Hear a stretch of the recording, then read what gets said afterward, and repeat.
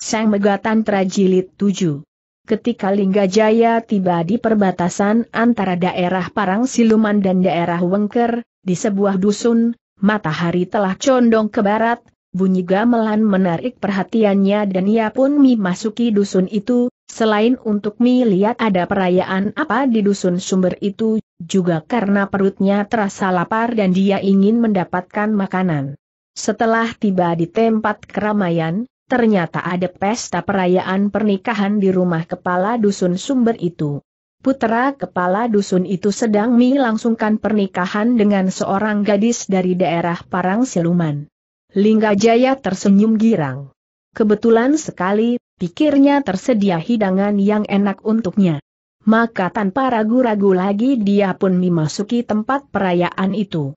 Karena seorang pemuda ganteng yang berpakaian seperti seorang bangsawan, maka lurah sumber yang bernama Karto Dikun itu menyambutnya dengan hormat dan Lingga Jaya malah mendapat tempat terhormat, di jajaran para tamu yang dihormati, dekat tempat duduk kedua Mi MPLI.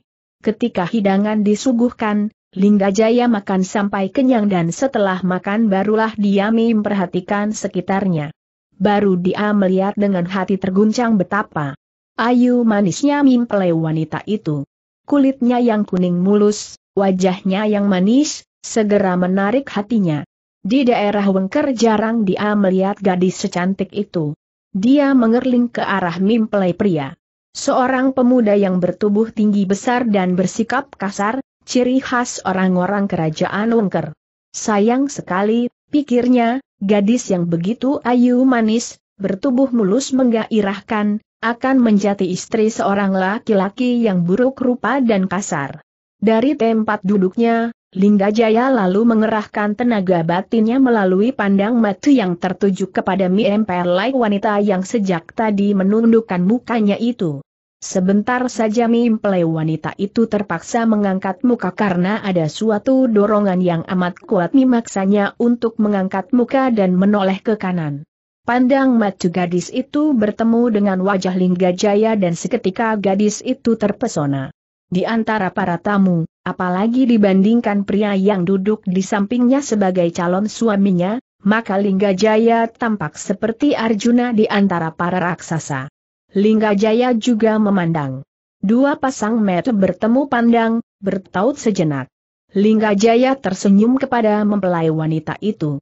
Gadis itu pun tersipu, menundukkan mukanya lagi dengan senyum tersungging di bibirnya yang manis. Kenyataan ini merupakan tanda yang cukup jelas bagi Lingga Jaya dan pun sudah mengambil keputusan untuk menggunakan kesempatan itu dan bersenang-senang malam ini di rumah Kilurah Kartodikun. Ketika para tamu dibubaran, dia pun ikut keluar. Malam itu, rumah Kilurah masih meriah dengan bunyi gamelan.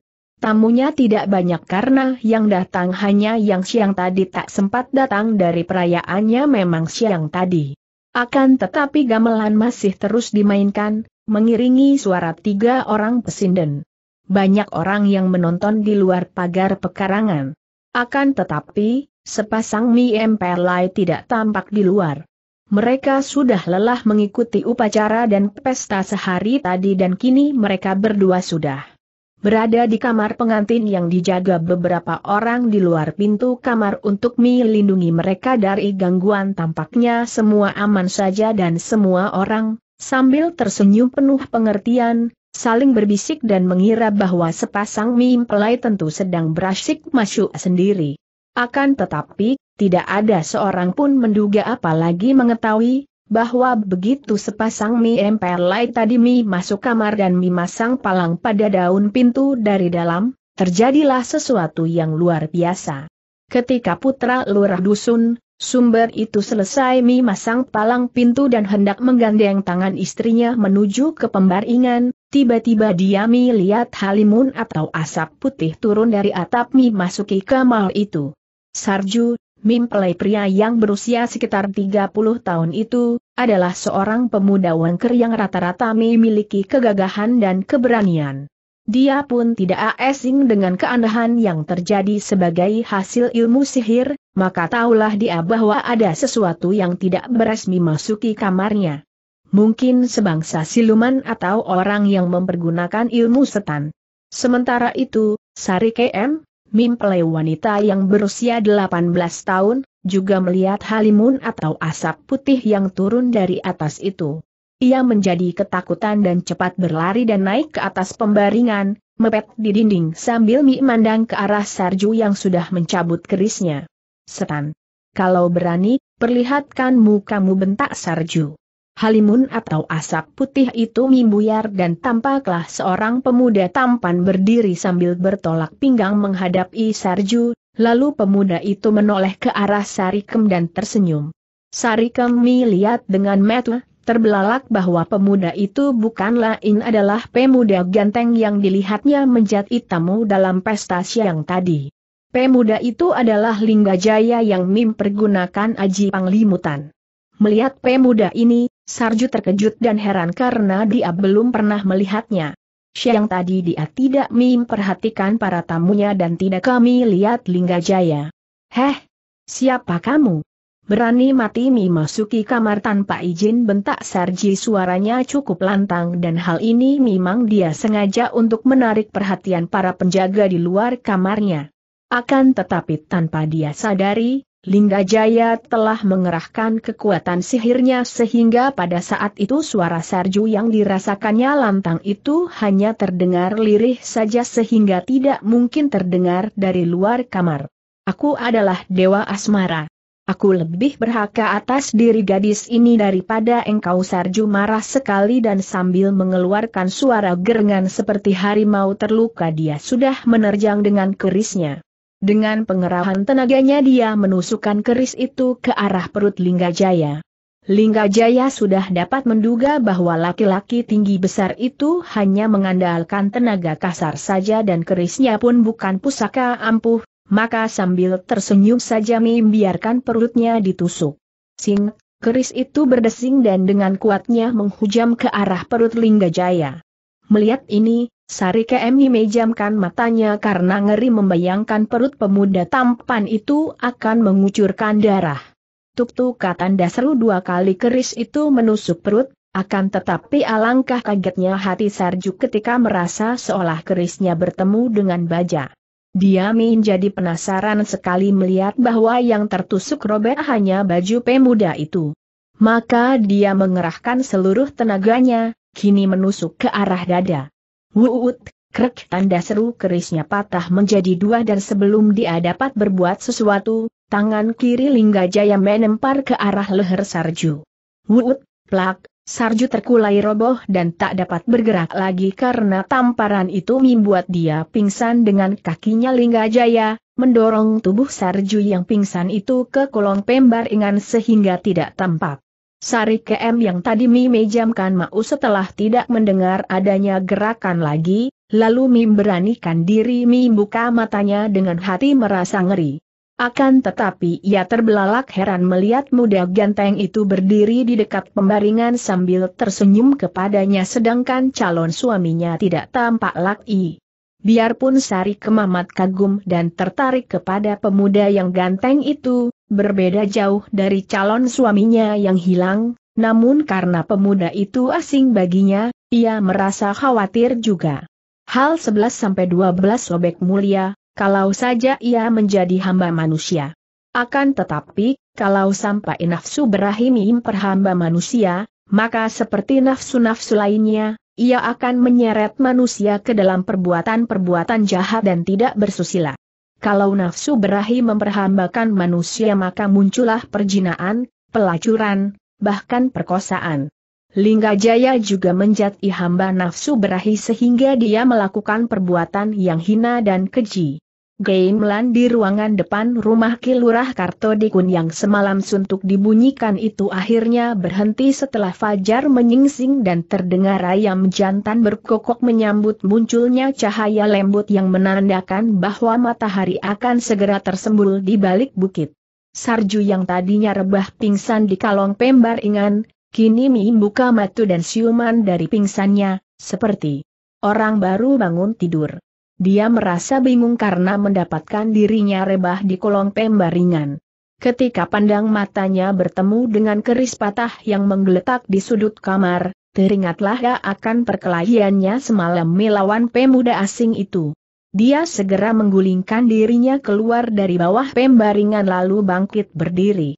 Matanya terbelalak dan mukanya merah sekali ketika dia melihat Sari KM tidur pulas berangkulan dengan pemuda yang semalam masuki kamar itu.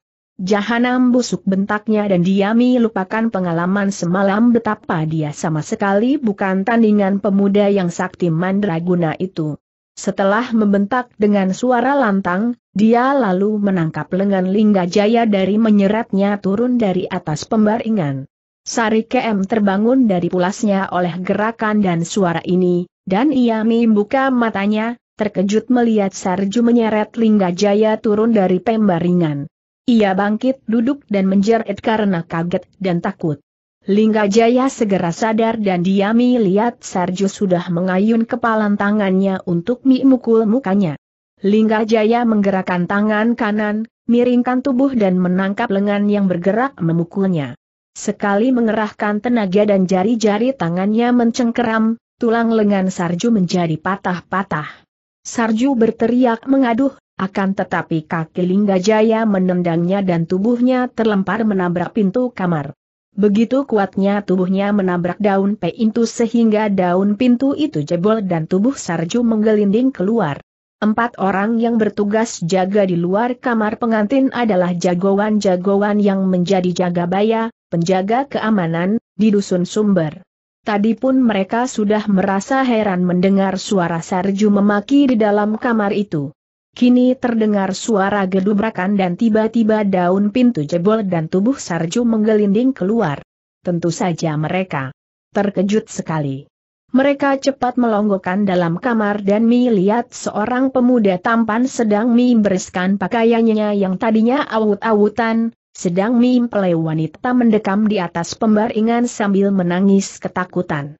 Tanpa dikomando lagi empat orang jagoan itu segera berlompatan masuk dalam kamar, mengepung Lingga Jaya yang membereskan pakaiannya sambil tersenyum dengan sikap tenang sekali. Hei, siapakah engkau? Menyerahlah untuk kami tangkap bentak seorang antara mereka yang kumisnya tebal dan panjang melintang. Lingga Jaya membereskan kain pengikat kepala sambil tersenyum dan tidak tergesa-gesa, setelah semua pakaiannya beres dan rapi kembali, baru dia berkata kalian hendak menangkap aku? Nah tangkaplah kalau kalian bisa si kumis tebal merintahkan temannya yang bertubuh gempal pendek, Suro, tangkap dan belenggu kedua tangannya kita hadapkan kepada Kilurah Suro yang bertubuh pendek gempal dan tampaknya kokoh kuat itu segera maju dan dia sudah membawa segulung tali. Dengan cepat dia menangkap lengan kiri Lingga Jaya, menelikungnya ke belakang, disatukan dengan lengan kanan lalu mengikat kedua pergelangan tangan pemuda itu dengan kuat. Lingga Jaya tersenyum geli seolah melihat pertunjukan yang lucu.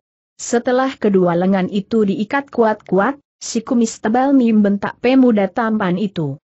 Hayo ikut kami menghadap Ki Lurah akan tetapi Lingga Jaya menggerakkan dua tangannya dan tali yang membelenggunya itu putus, Kedua lengannya sudah bebas lagi. HMM, kalian anjing-anjing buduk pergilah dan jangan mengganggu aku kata Linggajaya. Empat orang itu terkejut dan marah sekali. Mereka mencabut keluang, golok, yang terselip di pinggang lalu menyerang pemuda itu dari depan, belakang, kanan dan kiri. Akan tetapi Linggajaya dengan gerakan cepat memutar tubuhnya seperti gasing, kedua tangannya bergerak cepat empat kali dan empat orang itu berpelantingan dan tidak mampu bangkit kembali. Lingga Jaya lalu menghampiri pembaringan, mengelus rambut yang terurai itu dan mencubit dagu Sarikem, lalu berkata, manis, aku pergi sekarang, Sarikem yang kebingungan dan ketakutan, menjerit, Kakang Mas, bawalah aku pergi. Aku ikut tanda seru akan tetapi Lingga Jaya sudah melompat ke atas dan menjebol atap yang semalam dia tutup kembali ketika Mi masuki kamar itu. Mana dia mau peduli kepada Sari KM. Setelah apa yang terjadi semalam nafsunya telah terlampiaskan dan dia tidak mau mengacuhkan lagi gadis itu, tidak mau tahu nasib apa yang akan menimpa dirinya. Tentu saja dia tidak sudi membawa pergi Sarikem yang hanya akan menjadi beban saja baginya setelah keinginannya tercapai, dia pun tidak menginginkan lagi wanita itu. Dengan mempergunakan kesaktiannya Lingga Jaya berlari seperti angin cepat dan menjelang tengah hari dia sudah sampai di rumah tinggal Resi Bajra Sakti yang berupa sebuah gedung yang cukup mewah Resi Bajra Sakti merupakan datuk kerajaan Wengker, menjadi penasihat utama dari Raja Adama Panuda, yaitu Raja Wengker yang berusia 45 tahun, Lingga Jaya disambut oleh empat orang wanita muda yang rata-rata berwajah cantik. Mereka adalah selir-selir resi berasakti dan mereka juga diam-diam mengadakan hubungan gelap dengan Lingga Jaya, bahkan mereka berempat ini sang menjadi guru-guru pemuda itu dalam olah AS Mara. Tentu saja Resi Bajra Sakti tidak mudah dikelabui dan tahu bahwa empat orang selirnya itu bermain gila dengan muridnya. Akan tapi dasar perangainya sendiri sudah bobrok dia tidak menjadi marah bahkan merasa bangga karena muridnya itu tidak saja mewarisi ilmu-ilmunya, bahkan juga mewarisi wataknya yang metu keranjang dan tidak mau melewatkan wanita cantik begitu saja. Ketika Lingga Jayami masuki ruangan dalam, gurunya sedang duduk di situ. Lingga Jaya cepat memberi hormat kepada gurunya. Bapak guru, katanya sebagai salam. HMM, Lingga Jaya, bagaimana dengan latihanmu? Sudahkah engkau dapat memupuk kesabaranmu? Kesabaran itu penting sekali agar engkau dapat mengendalikan diri, tidak menjadi metu gelap dan lengah karena dipengaruhi perasaan. Sudah, Bapak. Baru pagi tadi saya berhenti memancing, bagus, sekarang bergantilah pakaian yang pantas. Kita harus menghadap Gusti Adipati, menghadap Gusti Adipati. Ada kepentingan apakah, Bapak Resi ada tugas penting untukmu? Engkau sudah cukup mi MPL ajari semua aji kanuragan dariku. Kepandaian itu hari kau pergunakan untuk mencari kedudukan dan kemuliaan. Gusti Adipati hendak menyerahkan tugas penting kepadamu. Engkau harus menyanggupinya, dan kalau engkau berhasil dengan tugasmu itu, haha, tentu engkau akan memperoleh kedudukan yang tinggi. Lingga Jaya lalu pergi mandi dan berganti pakaian baru. Kemudian bersama gurunya mereka pergi menghadap Adipati Adama Panuda yang menjadi Raja Kerajaan Wengker. Sebagai penasihat Raja atau Adipati, Resi Bajra Sakti dapat masuk sewaktu-waktu ke istana tanpa ada prajurit pengawal yang berani menghalanginya. Setelah tiba di ruangan depan istana, Resi Bajra Sakti memanggil kepala pengawal dan menyuruhnya menghadap dan melaporkan kepada Adipati Adama Panuda bahwa dia bersama muridnya mohon menghadap. Setelah kepala pengawal pergi ke dalam istana, guru dan murid itu duduk menanti di pendopo itu. Biarpun sudah beberapa kali Lingga Jayami masuki istana diajak gurunya, Tetap saja kini dia masih mengagumi ruangan istana yang indah dengan perabot ruangan yang serba bagus dan mewah. Gedung tempat tinggal gurunya yang besar itu pun bukan apa-apa dibandingkan dengan istana Adipati. Apalagi rumah orang tuanya di Karangtirta, walaupun merupakan rumah terbesar dan terindah di dusun itu, namun seolah sebuah gubuk miskin saja dibandingkan istana ini. Diam-diam timbul keinginan dalam hatinya. Kalau saja dia yang menjadi raja dan memiliki istana ini. Alangkah akan senangnya dan bangganya. Lamunan Lingga Jaya mimbuyar ketika kepala pengawal itu muncul dan mengatakan kepada Resi Bajra Sakti bahwa Seng Adipati telah menanti di ruangan samping, di mana Seng Adipati biasa menerama para pamong praja dan pembantunya.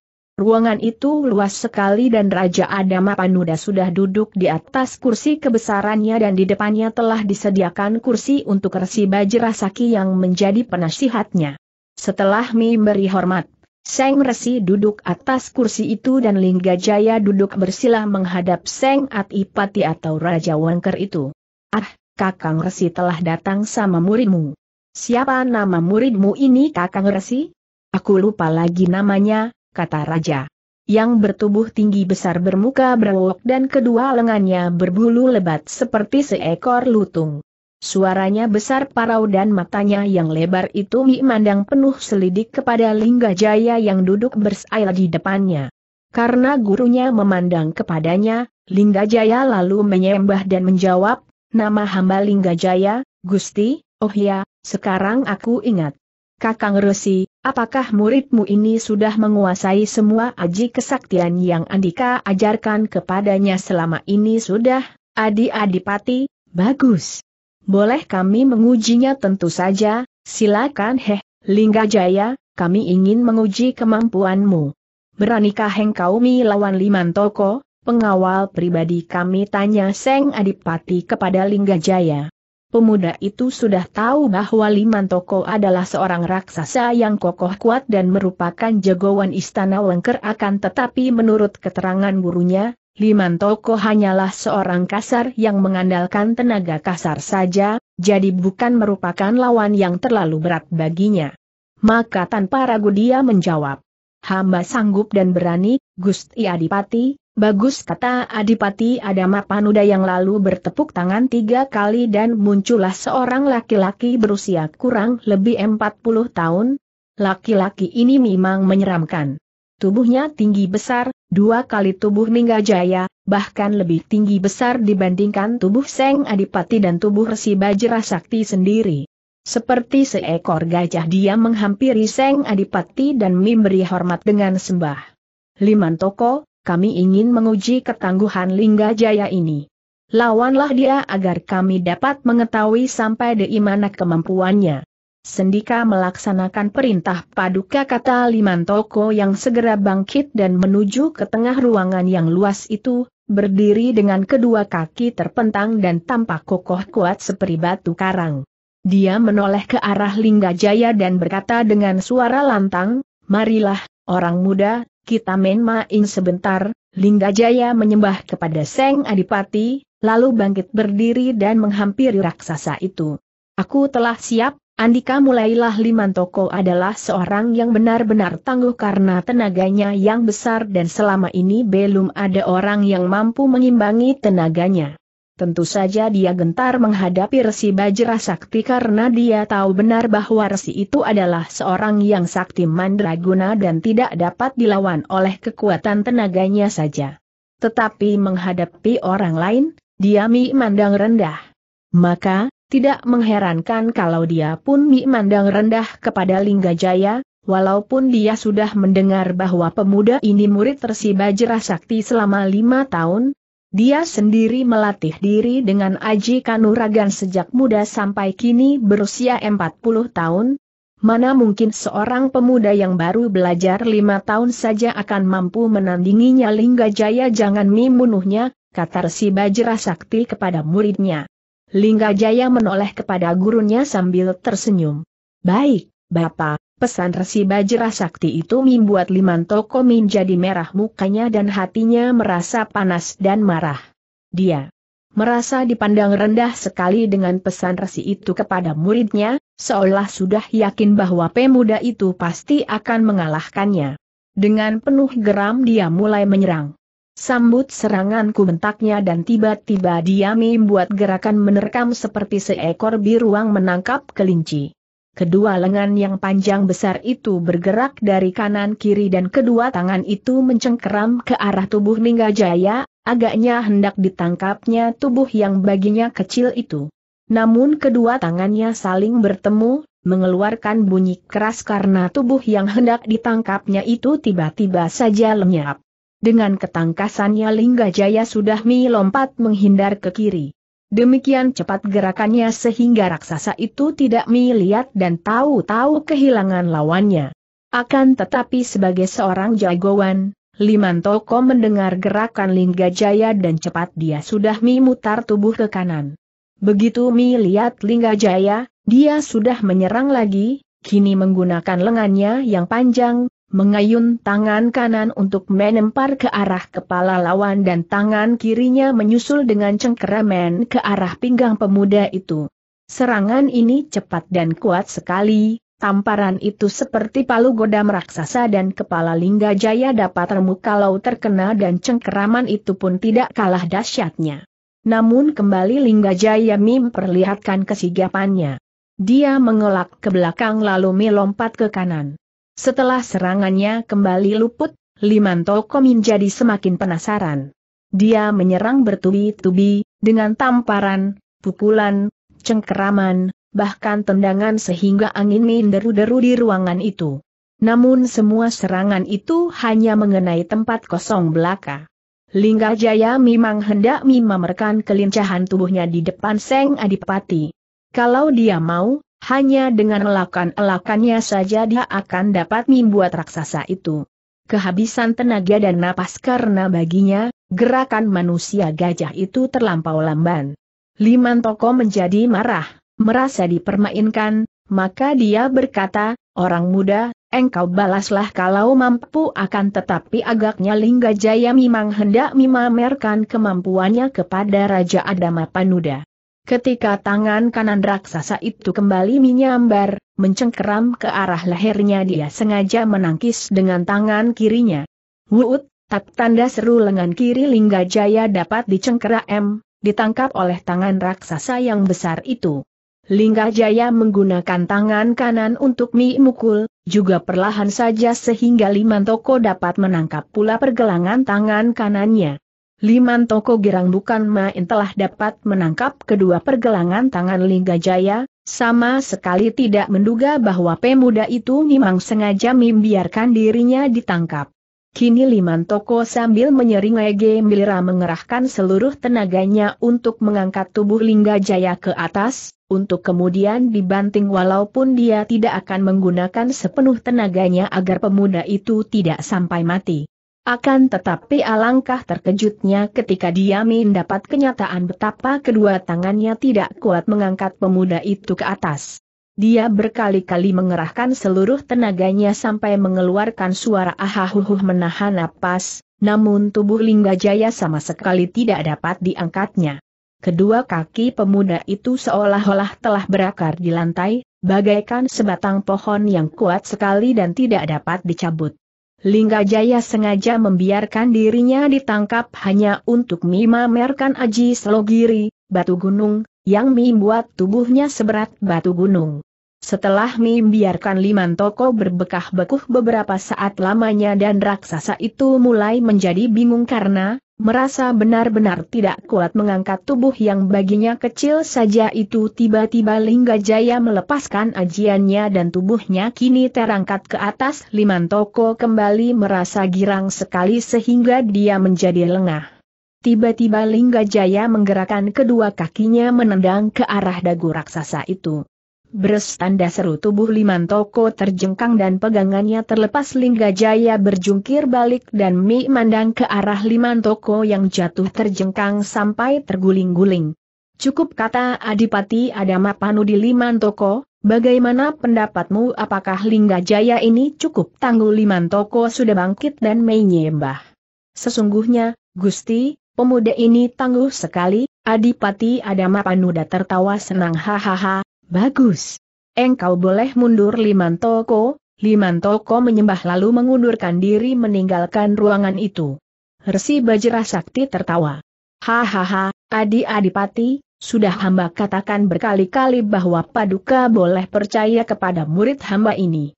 Akan tetapi, tugas apakah yang hendak Paduka berikan kepada Lingga Jaya Adipati Adama Panuda mengangguk-angguk lalu berkata dengan suara bernada serius. Begini, Kakang Resi, dan engkau juga Lingga Jaya, dengarkan baik-baik. Aku mendapat kabar dari Ratu Durga Mala dari Kerajaan Parang Siluman bahwa kedua orang putennya yang cantik jelita itu dipinang oleh Seng Prabu Erlangga dan sekarang bahkan sudah boyong ke Kauripan. Lasmini, putrinya yang pertama kini menjadi selir Kipatih Narotama, sedangkan putennya yang kedua, Mandari, menjadi selir Seng Prabu Erlangga. Resi Bajra Sakti mengerutkan alisnya yang tebal dan dia menggeleng-geleng kepalanya. Bukankah dua orang puterinya itu, seperti yang hamba dengar, ikut dan menjadi murid Kinaga Kumala, kakak ibu, dua orang gadis itu sendiri yang bertapa di pegunungan kidul benar sekali, kakang Resi, Resi Bajra Sakti menepuk pahanya sendiri. Tak tahu malu. Kenapa orang-orang tua itu menyerahkan putri-putri mereka kepada Erlangga dan Narotama yang menjadi musuh-musuh besar kita? Apakah kini parang siluman sudah hendak bertekuk lutut dan menyerah kepada Kahuripan tanpa berperang bukan begitu, Kakang Resi? Penyerahan dua orang gadis itu malah merupakan siasat yang bagus sekali. Lasmini dan Mandari adalah dua orang gadis cantik jelita yang juga pandai dan telah menguasai ilmu-ilmu yang tinggi dari uah dan ibu mereka. Mereka sengaja diberikan karena mereka berdua itu dapat memperoleh kesempatan baik untuk membunuh Erlangga dan Narotama. Wah, itu gagasan yang mengetahui bahwa Erlangga dan Yang Sakti Mandraguna. Hamba tidak akan mampu mengalahkan orang gadis muridnya. Terlalu muluk. Kita semua Narotama adalah dua orang kira kinaga kumala sendiri mereka. Apalagi hanya dua. Akan tetapi dua orang gadis itu memiliki kelebihan yang tidak kita milik yaitu kecantikan mereka yang luar biasa. Dengan kecantikan mereka inilah mereka hendak menundukkan Erlangga dan Narotama sehingga mereka mendapatkan kesempatan untuk membunuh raja dan patihnya itu. Menurut surat Ratu Durgamala yang diberikan kepadaku, Mandari telah berkunjung dan puterinya itu menceritakan bahwa ia mulai dapat memikat hati Erlangga sehingga ia menjadi selir terkasih. Dan mereka telah mengatur siasat, kalau membunuh raja dan patihnya yang sakti mandraguna itu tidak berhasil, mereka akan berusaha untuk mengadu domba. Antara raja dan patihnya itu atau setidaknya akan menimbulkan kekacauan sehingga keuripan menjadi lemah. Kalau sudah begitu, Ratu Durga malah minta kepadaku untuk bersama-sama mengerahkan pasukan dan memukul kahuripan yang sedang kacau dan lemah itu. Bagaimana pendapatmu, Kakang Resi kini Resi Bajra Sakti mengangguk-angguk dan wajahnya berseri.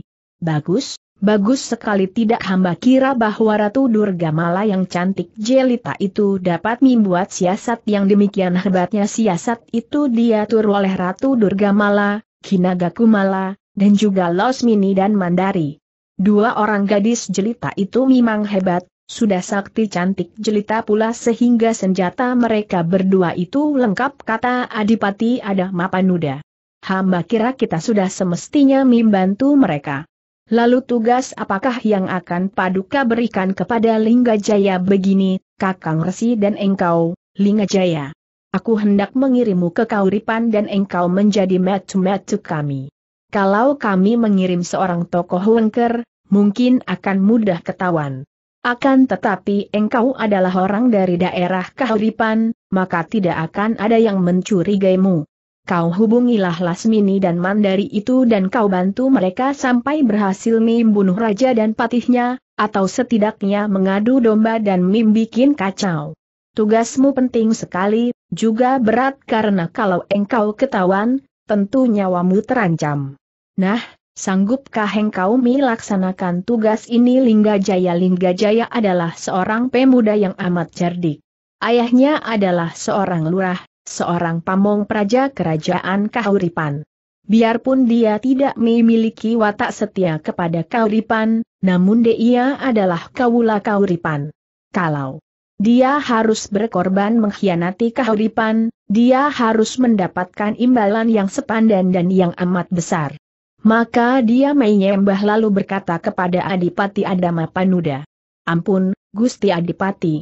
Tentu saja hamba sanggup melaksanakan tugas berat itu, akan tetapi ada suatu kenyataan yang menjadi penghalang bagi hamba untuk menyanggupinya, HMM, kenyataan yang bagaimana?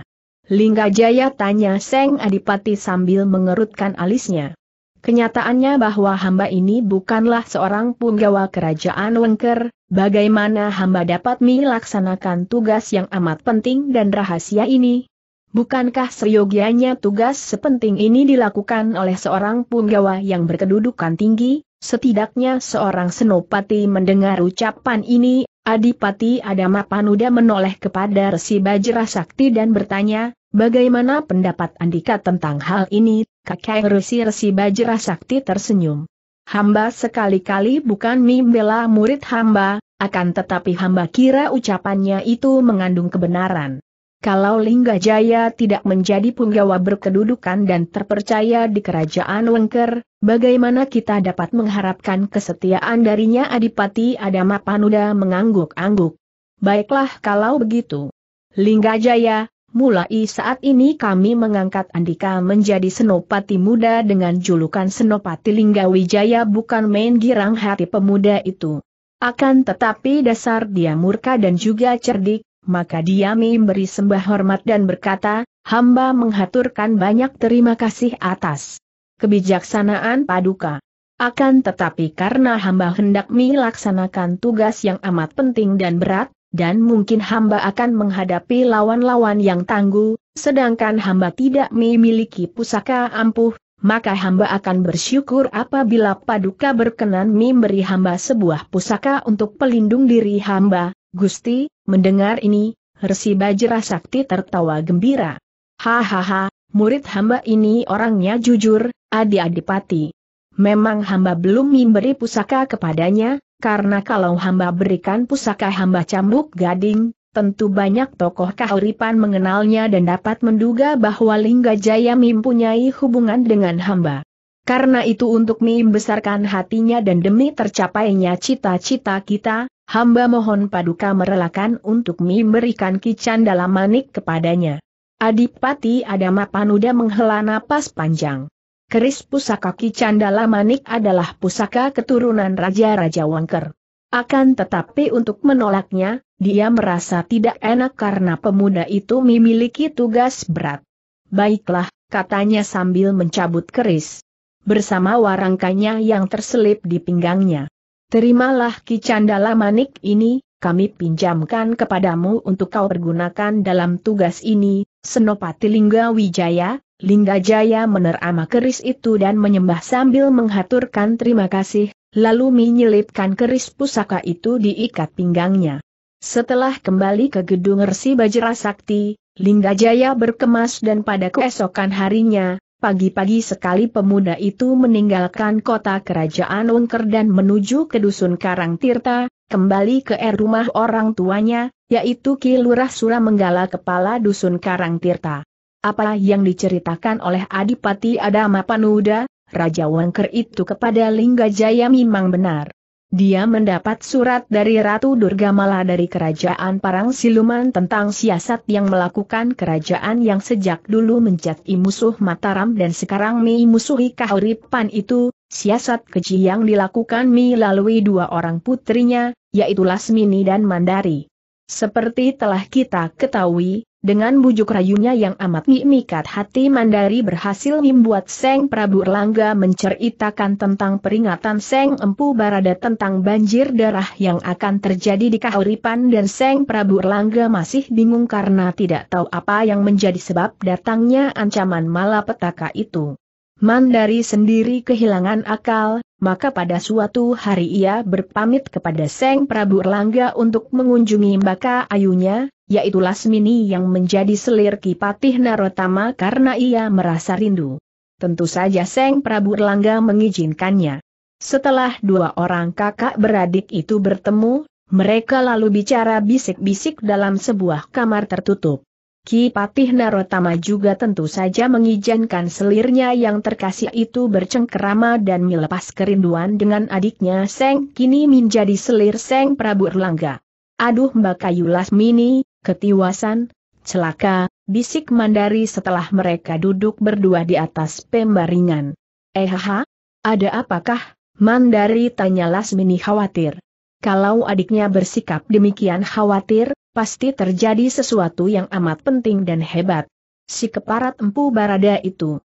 Sejak semula, dalam pertemuan pertama matanya sudah memandangku seperti mata kucing, tajam menusuk dan menyelidik.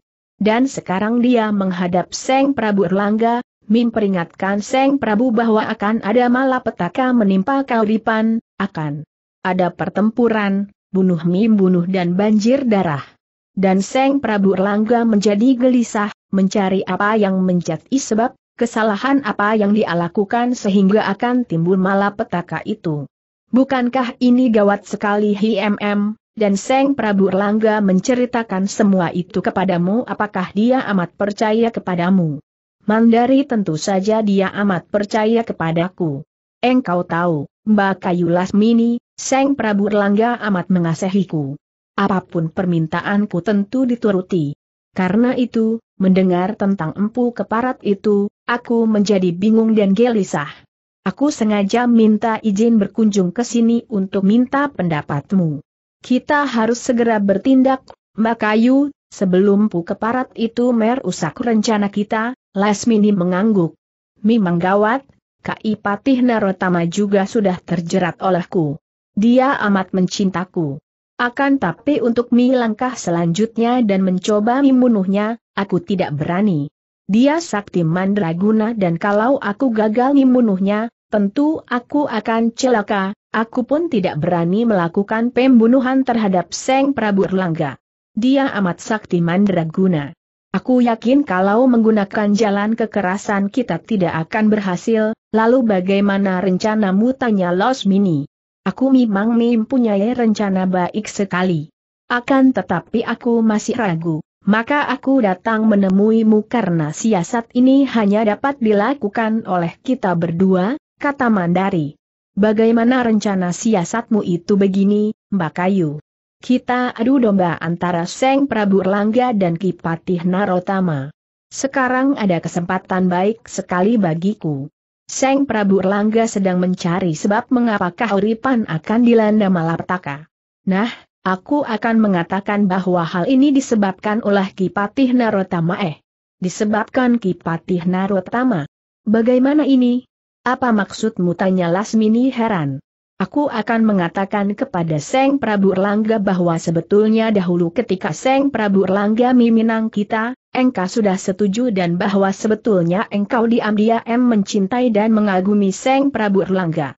Akan tetapi di tengah perjalanan, Ki Patih Narotama yang berpura-pura mengobatimu, telah menelanjangimu, melihati dan meraba-raba perut dan pusarmu.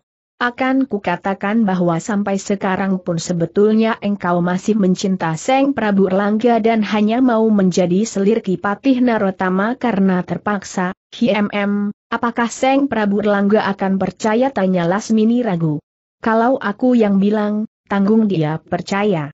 Aku akan membujuknya agar dia minta kepada Kipatih Narotama agar menyerahkan engkau kepadanya.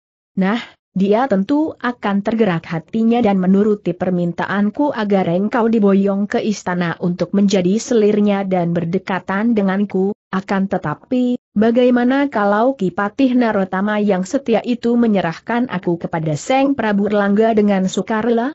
Bukankah itu berarti bahwa siasatmu itu sia-sia belaka? Apa untungnya? Kau tahu, Ki Patih Narotama adalah seorang laki-laki yang amat menyenangkan dan membahagi akan hatiku. Dia jantan, lembut, pendeknya aku jatuh cinta kepadanya Lasmini tersenyum manis dan melanjutkan, kalau hasil siasatmu itu hanya memindahkan aku dari tangan Ki Patih Narotama ke tangan Seng Prabu Erlangga, aku tidak mau. Aku sudah terlanjur cinta kepada Ki Patih Narotama Mbakayu Lasmini. Apa engkau sudah lupa akan tugas kita? Aku sendiri pun udah menikmati hidup bahagia dengan Seng Prabu Erlangga.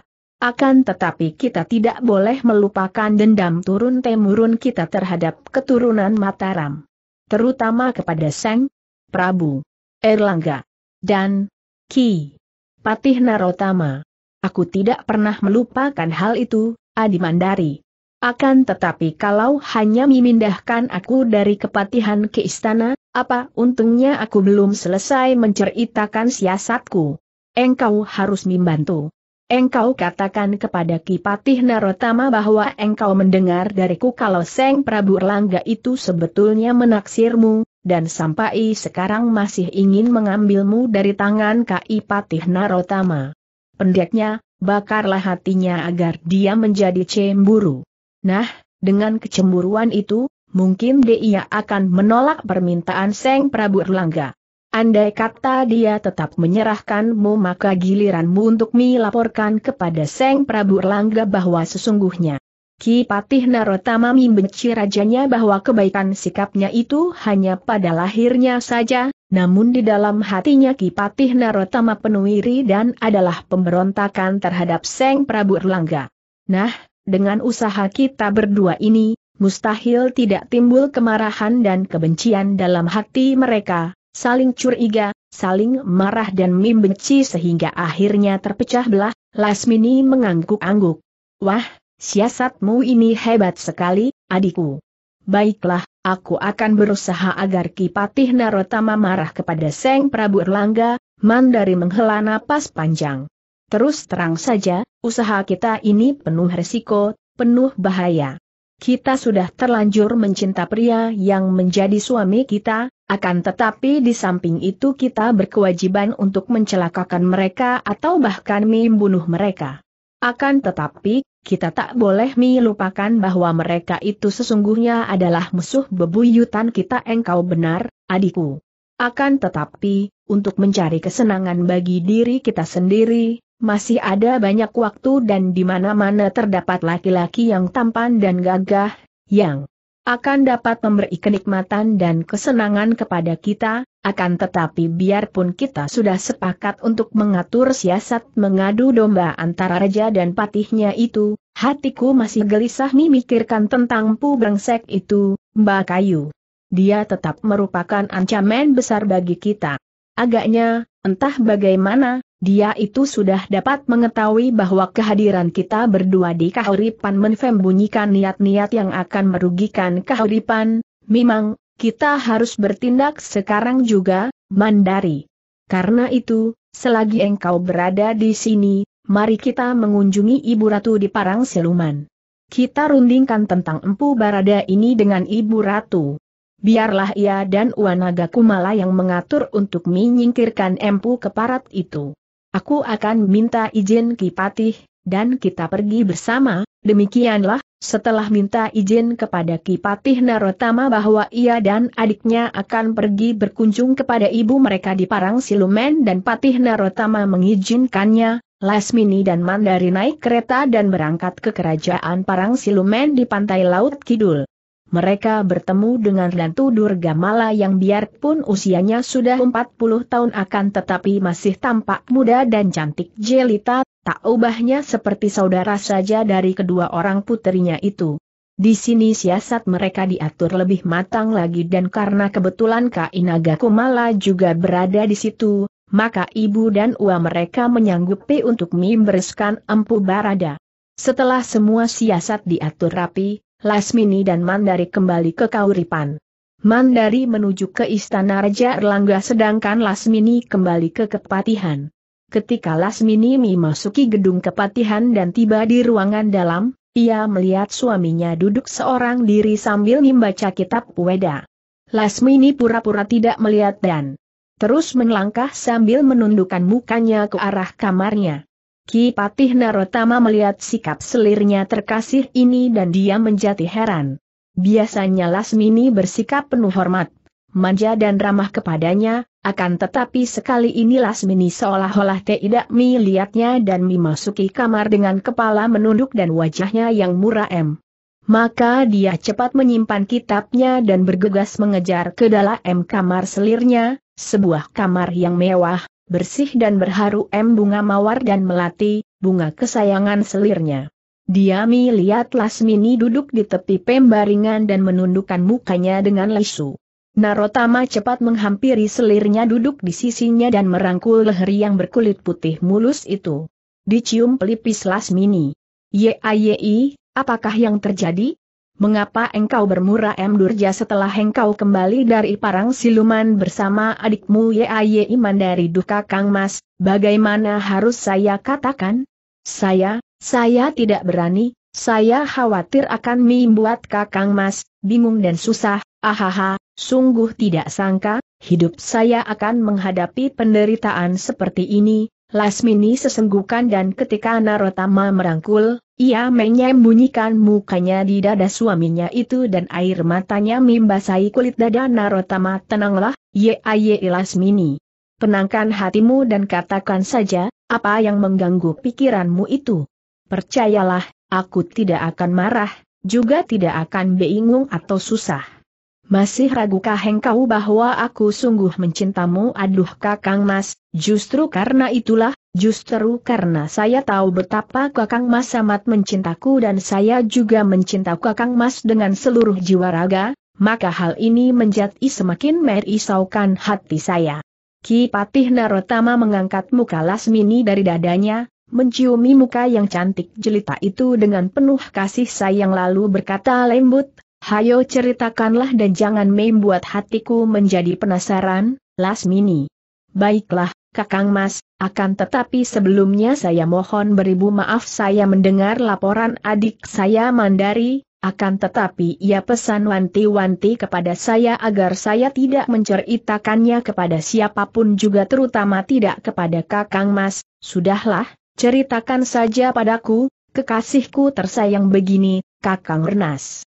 Menurut cerita atik saya bahwa, bahwa Seng Prabu Erlangga sejak dulu, menaksir diriku dan bahkan sampai sekarang pun masih sering membicarakannya dengan Mandari bahwa beliau, hendak mengambil saya dari tanganmu, Kakang Mas.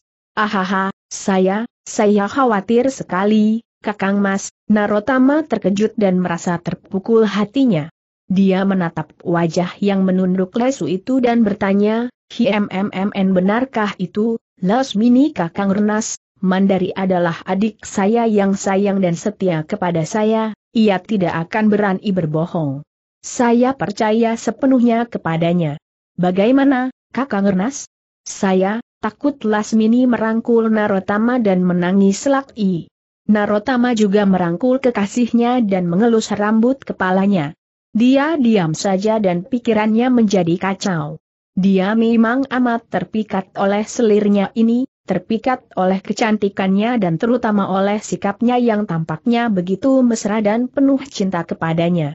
Mungkinkah dia dapat memisahkan ikatan cintanya dengan Lasmini dan menyerahkannya kepada Seng Prabu Rangga? Akan tetapi, dia juga terikat kesetiaannya kepada Seng Raja. Jangankan baru menyerahkan selir, biarpun menyerahkan nyawanya dia akan rela untuk memenuhi permintaan junjungannya itu. Perasaan hatinya terpecah dua dan berulang-ulang dia menghela napas panjang. Melihat ini, Lasmini lalu merangkul Laki dan menciumi muka suaminya. Duh kakang mas, ampunilah saya, saya telah membuat paduka menjadi gelisah dan berduka, dengan pengerahan seluruh daya tariknya untuk mimikat hati Narotama, Lasmini lalu menghibur dan untuk sementara memang hati Narotama terhibur dan larut dalam kemesraan.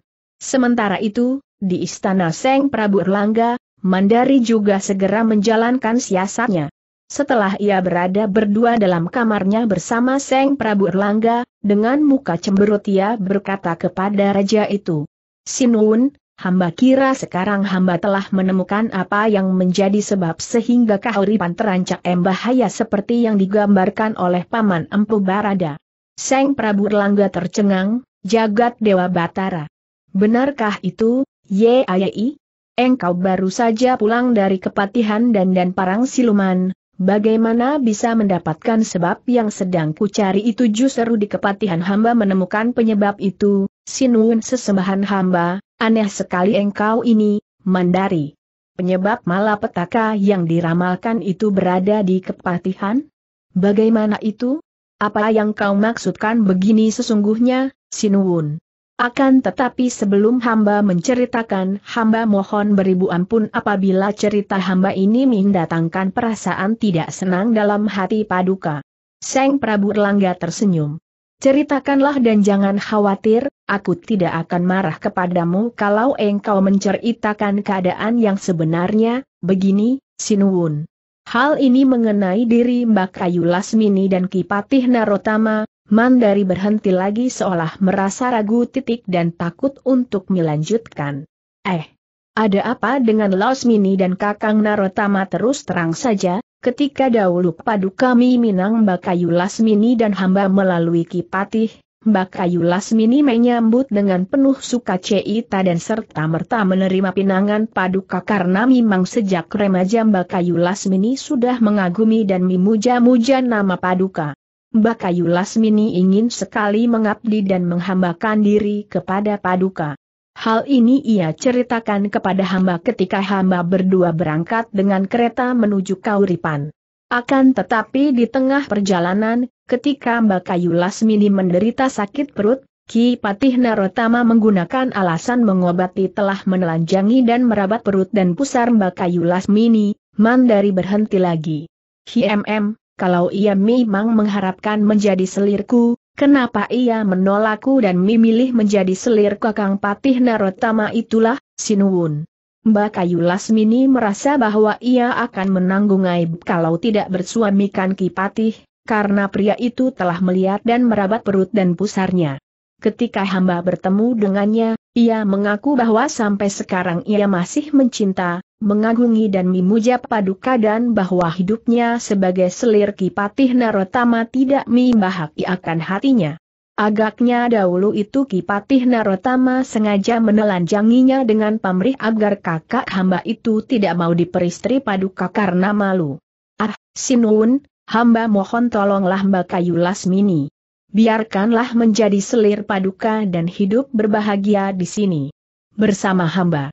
Hamba yakin bahwa Mbak Kayu Lasmini akan menambah kebahagiaan paduka, Sinun, Seng Prabu Erlangga adalah seorang yang sakti mandraguna dan juga bijaksana, akan tetapi sesuai dengan kenyataan bahwa tidak ada manusia yang sempurna tanpa cacat, dia pun hanyalah seorang manusia tiada yang sempurna di alam maya pada ini kecuali Seng Hyang Widiwasa, yang maha kuasa dan maha sempurna. Manusia, betapapun kecilnya, pasti memiliki kelemahan, dan Seng Prabu Erlangga, seperti juga Seng Arjuna, tokoh yang dikaguminya, juga memiliki satu kelemahan, yaitu terhadap wanita. Mendengar keterangan Mandari bahwa Lasmini sejak dulu sa MPAI sekarang mimuja dan mencintanya, dan hanya karena ulah Narotama yang licik maka gadis yang cantik jelita itu kini menjadi selir Narotama, hati Seng Prabu Erlangga tergerak. Kalau begitu, dialah yang berhak mempersunting gadis itu. Pikiran ini menyambar bagaikan kilat di dalam benaknya. Walaupun memiliki kelemahan terhadap wanita cantik, namun seorang yang bijaksana seperti Seng Prabu Erlangga tidaklah diperbudak oleh nafsunya bujukan nafsu itu hanya sekilas. Dia sudah pula dapat cepat menekan gejolak nafsu yang ingin mendapatkan Lasmini yang cantik jelita menggairahkan itu. Dia teringat siapa Narotama, seorang yang amat dekat dengan hatinya, kawan seperjuangan, pembantunya sejak dahulu yang amat setia. Ditolaknya bujukan nafsu berahi itu dan dia sudah dapat menguasai dirinya. Dia tersenyum dan mengelus rambut kepala Mandari. Tidakkah, Mandari Wang Ayu? Lasmini telah menjadi milik Kakang Narotama aku tidak berhak merampasnya, bahkan tidak berhak membayangkan wajahnya dan kecantikannya. Hubunganku dengan Kakang Narotama tidak dapat dinilai harganya, tidak mungkin menjadi retak dan terganggu hanya karena seorang wanita. Pula, aku sudah memiliki engkau dan aku tidak menginginkan wanita lain. Biarlah Lasmini tetap menjadi selir Kakang Narotama, dapat dibayangkan betapa kecewa dan sebal hati Mandari mendengar ucapan Seng Prabu Erlangga ini. Pria ini ternyata memiliki keteguhan hati seperti gunung karangla menangis dan mengeluh. Duhai Sinuwun pujaan hamba, kalau begitu paduka tidak cinta lagi kepada hamba, ia terisak-isak dan menangis di atas pangkuan Seng Prabu Erlangga. Seng Prabu Erlangga tersenyum dan mengangkat bangun selirnya sehingga Mandari dipaksa duduk di sampingnya, di tepi pembaringan. Kenapa engkau berkata demikian, Ye Ayai? Justru penolakanku ini sebagian adalah karena sayang dan cintaku kepadamu. Aku tidak ingin ada wanita lain lagi yang berada di sampingku selain engkau dan permaisuri serta selir yang sudah ada. Aku tidak ingin mengambil selir lain lagi, akan tetapi hamba merasa kasihan kepada Mbak Kayu Lasmini, hamba ingin menolongnya dan membahagiakannya. Kalau padu kami memenuhi permintaan hamba dan mengambilnya sebagai garwa wampil, selir, hamba akan merasa bahagia, sebaliknya kalau paduka menolak, hamba akan merasa berduka. Apakah paduka tidak kasihan kepada hamba mandari, selirku terkasih? Ketahuilah, cinta tidak berarti harus memenuhi semua permintaan orang yang dicintai sama sekali tidak. Cinta bahkan harus menolak permintaan orang yang dicintai kalau permintaan itu tidak benar, berarti menyadarkan orang yang dicinta dari kekeliruan. Kalau menurut saja permintaan yang keliru dari orang yang dicintai hal itu berarti malah mendorongnya ke dalam jurang. Dan ketahuilah bahwa permintaanmu sekali ini adalah keliru tidak benar sama sekali. Kakang Narotama adalah tulang punggung. Kerajaan Kahuripan. Apakah aku harus mematahkan tulang punggung itu hanya demi merampas seorang wanita cantik dari tangan pria yang berhak memilikinya? Tidak, Wang Ayu, Sekali lagi tidak dalam ucapan Seng Prabu itu terdengar suara yang mengandung keyakinan dan kepastian yang tidak mungkin dapat diubah pula dan Mandari tahu akan hal ini, maka ia pun tidak berani membujuk laki, takut kalau-kalau Seng Prabu Erlangga menjadi curiga kepadanya.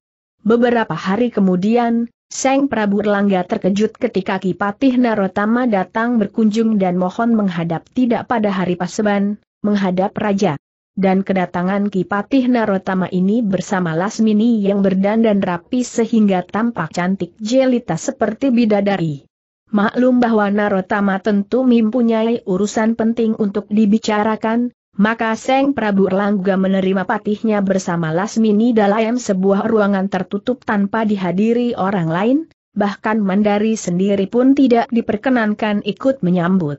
Setelah dipersilakan duduk, Seng Prabu Erlangga berkata sambil tersenyum. Wahai, Kakang Narotama, Andika datang berkunjung bukan pada hari Pasoban, tentu ada urusan yang teramat penting. Dan Andika mengajak pula seliran di kelas mini, ada urusan apakah gerangan, Kakang Narotama Seng Prabu mengerling ke arah Lasmini yang menundukkan mukanya dan harus akui bahwa wanita itu memang cantik luar biasa. Hanya Mandari saja yang dapat menandingi kecantikan itu. Ampun beribu ampun, Gusti Sinuwun kedatangan hamba menghadap Paduka tanpa dipanggil ini adalah untuk menghaturkan los mini kepada Paduka, Seng Prabu Erlanggami mandang patihnya dengan mata, terbelalak penuh keheranan. Menghaturkan los mini kepadaku? Apa maksudmu, Kakang Narotama apabila Paduka berkenan menghendaki untuk mengambil Lasmini sebagai garwan pil, silakan, Gusti. Hamba menyerahkannya dengan kedua tangan terbuka dan hati serela-relanya, duh jagat Dewa Batara. Serendah itukah penilaianmu terhadap diriku? Aku bukan perusak pagar ayu, aku tidak akan merampas istri orang lain, apalagi istrimu, Kakang, bawalah garwamu pulang dan jangan berpikir yang bukan-bukan.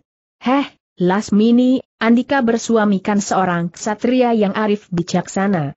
Pulanglah bersama dia dan hiduplah bahagia di sampingnya sebagai seorang istri yang setia. Nah, pulanglah kalian dalam kalimat terakhir ini terkandung perintah tegas sehingga Kipatih Narotama tidak berani membantah lagi. Setelah berpamit dan mohon diri dia lalu mengajak Lasmini pulang dengan hati yang lega dan tenang. Kalau benar Seng Prabu Erlangga tertarik dan mencintai Lasmini, hal itu tidaklah aneh. Selirnya itu memang memiliki kecantikan luar biasa sehingga kalau ada dewa sekalipun yang jatuh cinta padanya, dia tidak akan merasa heran. Seng Prabu Erlangga sebagai seorang pria boleh jadi terpikat dan jatuh cinta kepada Lasmini, namun dia percaya sepenuhnya bahwa Seng Prabu Erlangga tidak akan sedemikian susah untuk mengganggu istri orang lain. Dari semula dia sudah menduga begitu, maka dia pun sengaja mengajak Lasmini menghadap dan menyerahkan Lasmini kepada Seng Prabu Erlangga. Dan, seperti memang sudah diduganya, Seng Prabu Erlangga menolak keras maka timbul perasaan terima kasih dan bangga kepada rajanya yang membuat dia semakin kagum, memuja dan setia kepada junjungannya yang juga merupakan sahabat dan saudara seperguruannya itu.